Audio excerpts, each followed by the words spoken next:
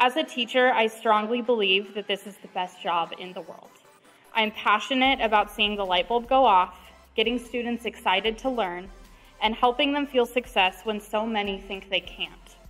I couldn't imagine doing anything else, and I'm so grateful to have the opportunity to work with my students each and every day.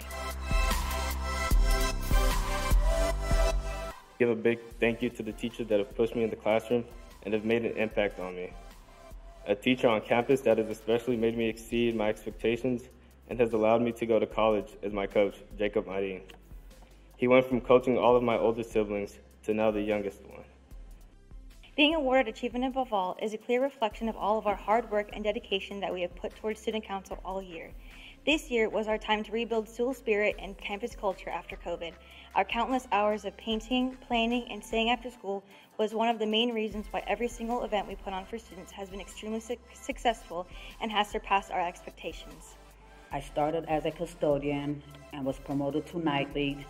Thank you, Matt, for promoting me to maintenance a position I wanted to achieve. To the administration and teachers at Apollo, thank you for nominating and voting for me.